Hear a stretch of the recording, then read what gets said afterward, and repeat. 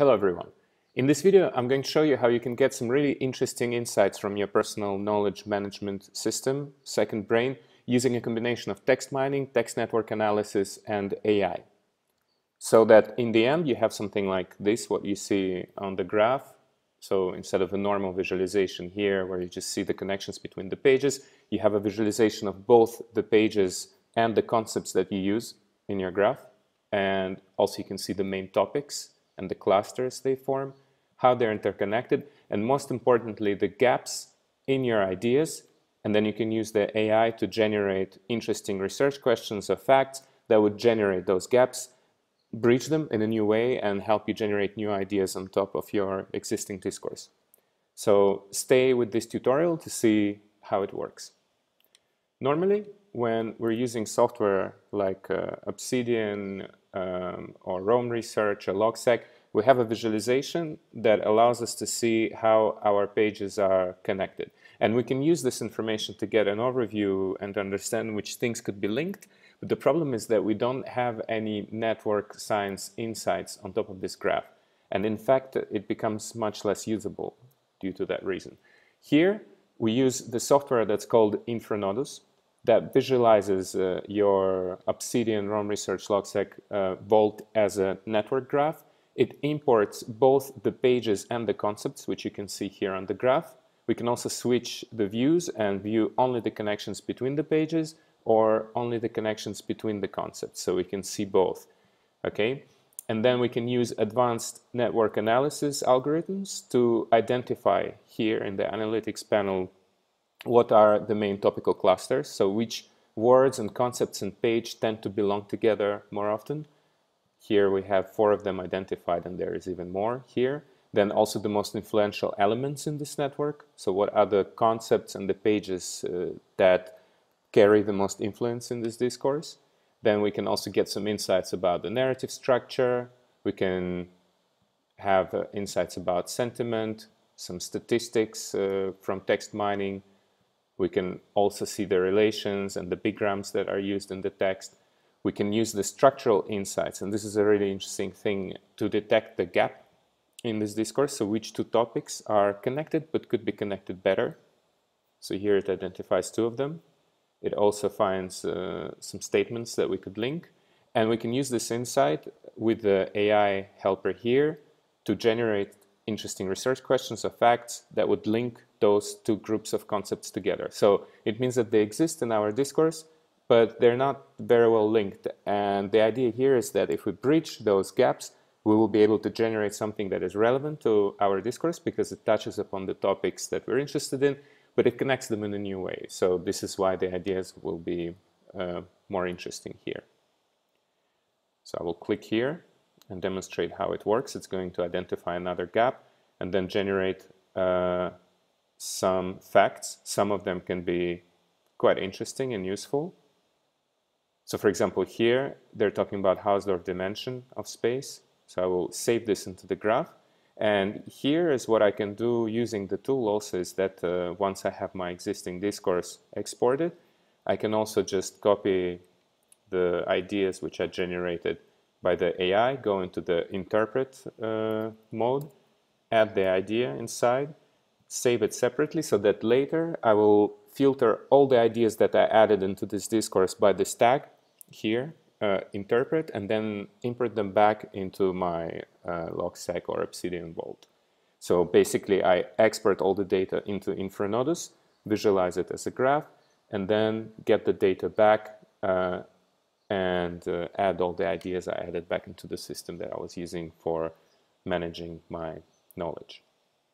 So here I just showed you some of the main features and if you want to learn more about how it works, stay with this tutorial so I show everything step by step. So first of all, when we want to import some data, what we can do is uh, to go into the Infranodus home apps page and you have a lot of different imports here. You can import uh, anything you want, Google search results, your own text. You can even write uh, using the live ideation system. Here I'm going to import some stuff I have from my own Research and I'm going to select some files here. So I'm basically selecting all of them at once. 53 files. It's a research I'm doing at the moment on fractal dimensions and networks. Click Visualize. And what we have here is a visualization of all the connections between the pages and the concepts. And it's going to give some warnings about uh, some pages that are empty because they're just backlink references. But it's important to know which ones have content, which ones have no content. And then, first of all, what I like to do is just look at the graph and to see what are the main things that pop up. So this stage is really good for remembering what I was writing about. I was actually working on that a year ago, so now I'm going to use this network to get back into this discourse.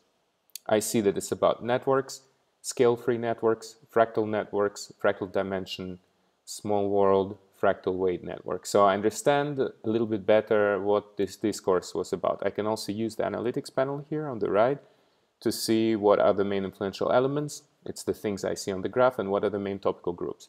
And to explain you how it works, it's basically uh, a very uh, widely used network science algorithms. Here we use the measure of betweenness centrality to identify the most relevant and influential terms inside the network.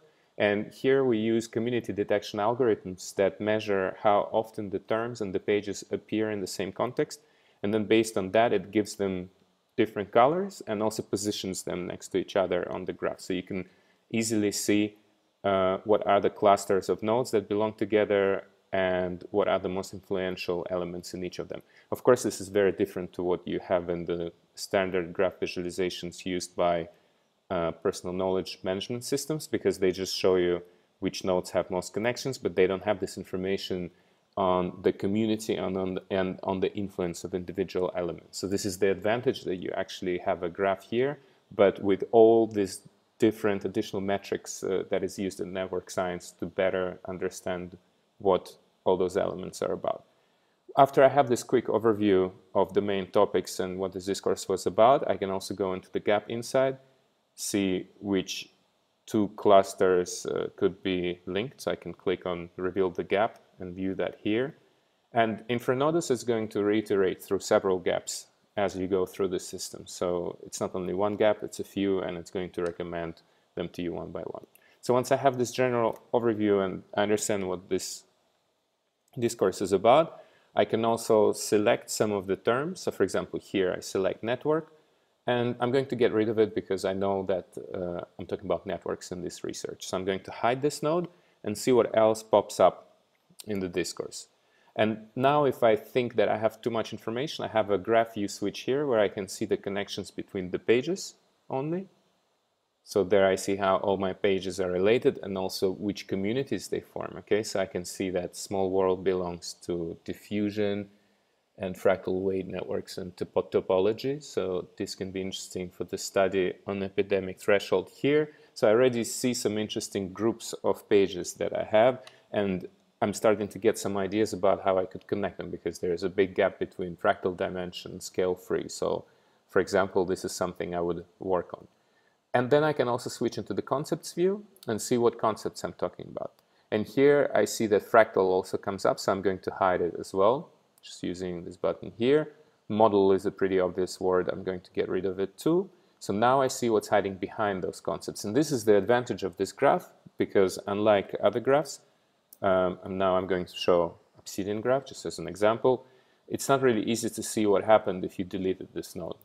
And here it's a different story because we can remove nodes uh, and gradually see what's hiding behind them. So for example, here I see that the, the concept of distribution and scale comes up and this is interesting for me. So I select those nodes and then I open the statements to see in which context those terms were used. So here I have a text panel that shows me in which context those terms uh, are being used in my discourse. So I see that it's something about scale-free distribution and how it can be used to actually identify the type of the network. So this is an idea that I want to add into this discourse. I'm going to click here.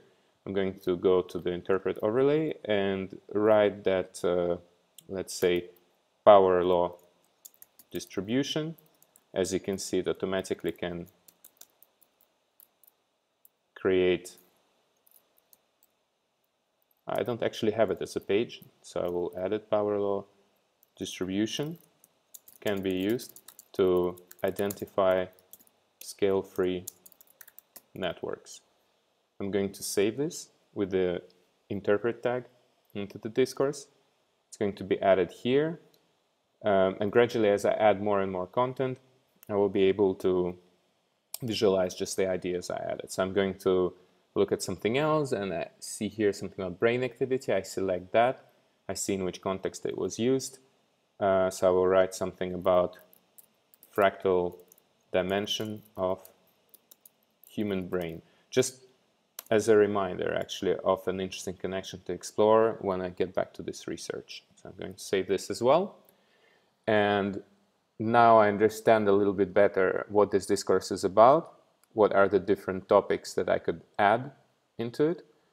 Um, I also see how they're connected and whether there are some gaps in between.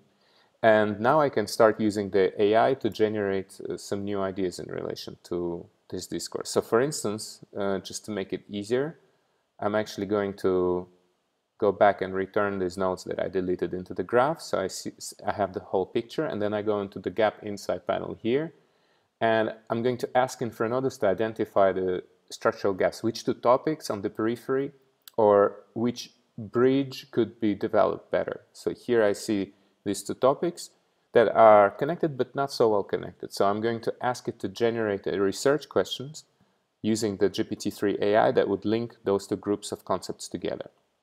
So here it says, what is the relationship between characteristic brain activity and consciousness in healthy and unhealthy patients? So this is great because it's a question on the uh, structure of the neural network in both healthy and unhealthy patients. So maybe I could connect my discourse to the discourse on health. So in order to do this, I'm going to save this idea into the graph. You see it's added here, generate more ideas, relationship between brain activity and consciousness. Okay, this is not so interesting. I'm going to generate some more questions. If, if you see something you don't like, you can just skip it. Uh, okay, so he's still focused on this idea of conscious disorders. Okay, so I'm going to save this also into the graph. And then I'm going to change the AI module and ask it to generate some facts. Usually people who are afraid of AI, they don't like this feature because they say that the AI is doing the job for you, but uh, we have the questions feature also, so if you want to generate ideas on your own, you can also use the question one. But here it's talking about uh, different algorithms that it can be used to find the shortest path between two nodes in network.